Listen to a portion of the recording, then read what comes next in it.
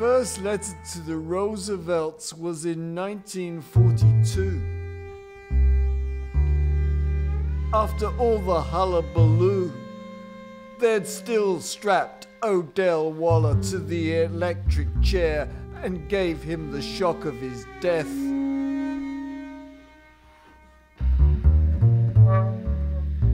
In chewing off Franklin's ear about yet another capital murder rap, remarked, At least I had their ears.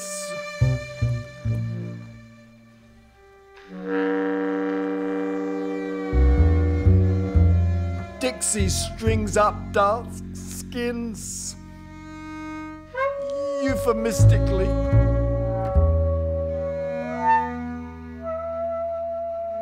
Reality hangs in balance. Lynch the bastards and wipe off their grins. Sling the carcass into old Mississippi and go dousing death in drowning.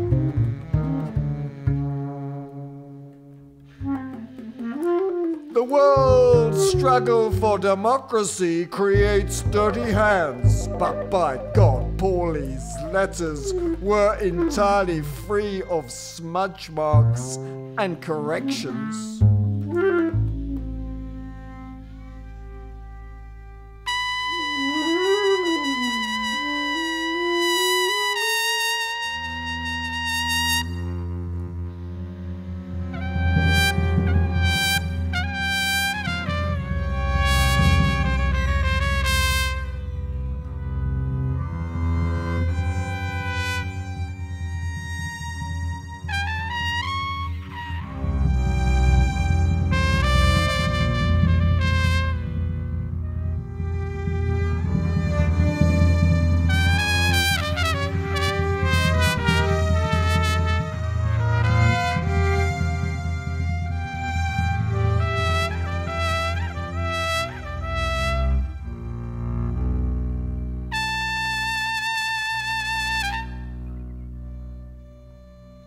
Now, Eleanor Roosevelt is not the kind of woman to take criticism about her husband's behavior lying down. Heaven only knows the president was a man with a liberal disposition. Great changes come slowly. Her faithless Franklin D had always been, if not a tortoise, certainly not a hare. Working faster than the future mixes mulatto lettering to black ink.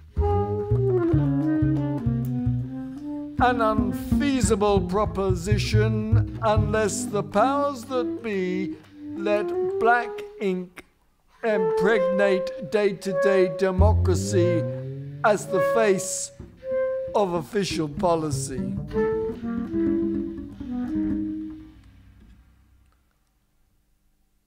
Although Eleanor cited the Fair Employment Practice Committee, she stands corrected.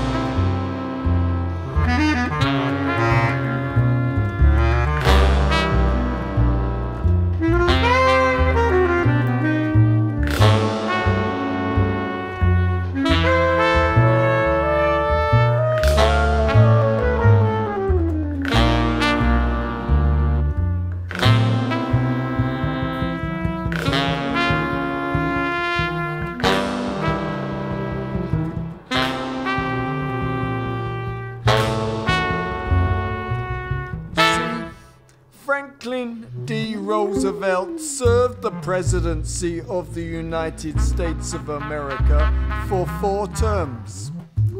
and didn't get off lightly. Through marriage to mistress runs a heavy weight of depression and distress. He who plays poker with his wife comes off dealing the joker in the pack. Pauli Murray became the diamond pictured Jack. Loyal friend to Eleanor, chai for tea with the First Lady of Liberty at her home in Val-Kill Cottage, Hyde Park of New York. Passing the sugar like she'd personally picked the cane herself. Great changes come slowly. Too casual for women with conviction. Too slow for the black brothers who, decades later, cannot